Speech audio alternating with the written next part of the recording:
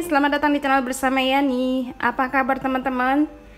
Semoga semuanya dalam keadaan baik ya. Hari ini saya mau bikin menu yang simple, sederhana banget, yaitu gulai daun singkong. Tiga ikat daun singkong yang muda-muda, nanti dicuci bersih lalu direbus. 130 ml santan kental,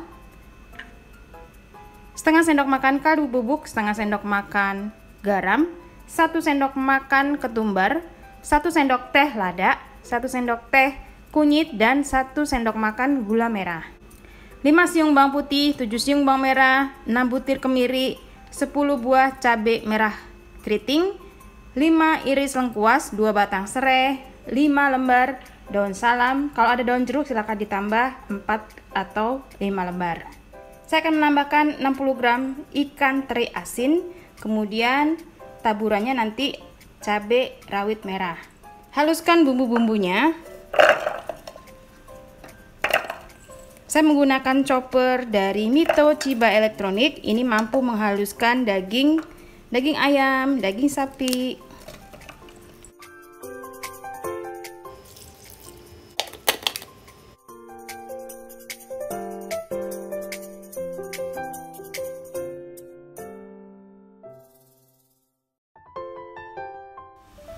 Daun singkongnya direbus sampai empuk banget.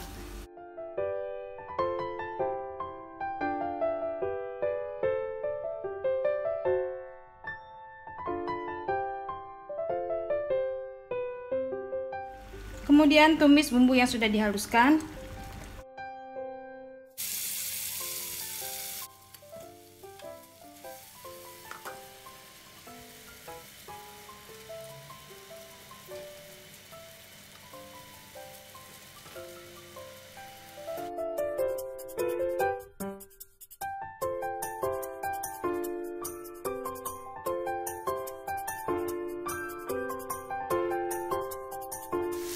Oke, kemudian teri masuk. Ini terinya saya nggak digoreng ya, teman-teman. Tapi kalau misalnya mau digoreng terlebih dahulu boleh banget.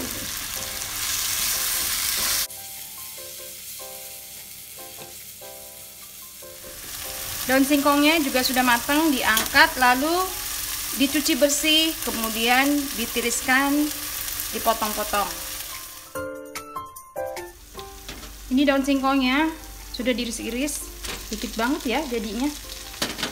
Kemudian masukkan bumbunya.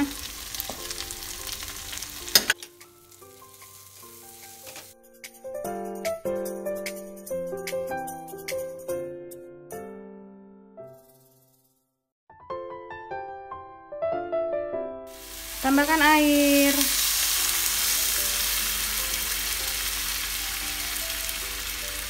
Kalau mau pakai santan yang dari parutan kelapa itu kurang lebih 1000 ml dari satu setengah butir kelapa supaya si sayurnya tuh enak banget.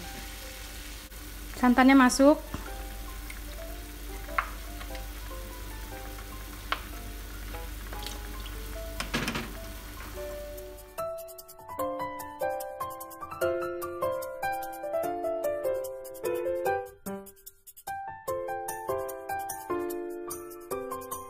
Ternyata saya punya daun jeruk 3 lembar yang sudah dibuang batangnya.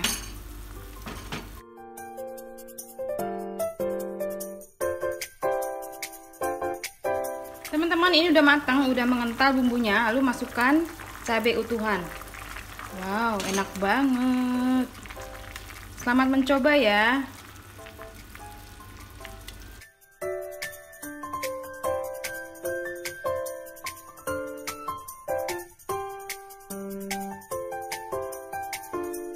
Hari ini saya mau bikin perkedel kentang sebanyak 1 kg. Bumbunya 8 siung sampai 10 bawang putih, kemudian 15 siung bawang merah. Ini nanti diiris-iris lalu dihaluskan. Tapi digoreng dulu ya maksudnya. Satu butir telur, setengah sendok makan kaldu bubuk, setengah sendok makan garam dan satu sendok makan lada Tambahkan 2 sendok makan tepung terigu supaya perkedelnya tidak terlalu hancur atau ini fungsinya untuk mengikat adonan. Kentang sebanyak 1 kg dicuci bersih kemudian digoreng.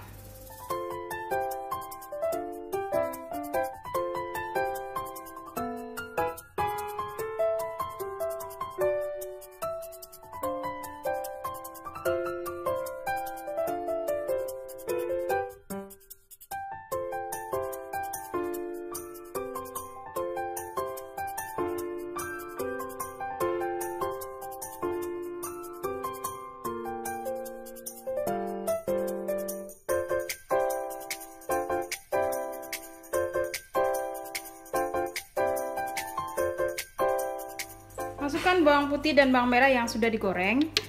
Saya menggunakan chopper dari Mitoshiba Elektronik, ini yang besar punya.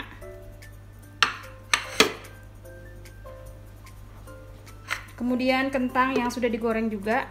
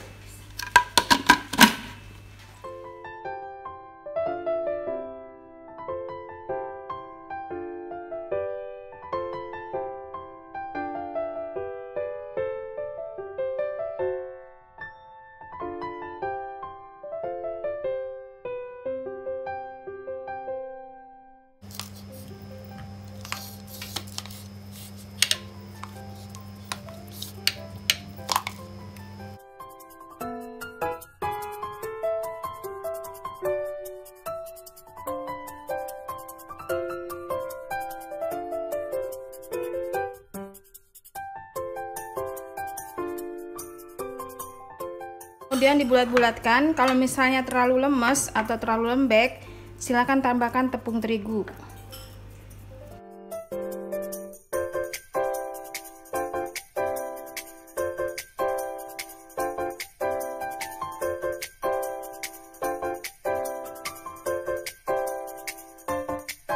Baiklah, setelah ini dilumuri dengan kocokan telur dan digoreng.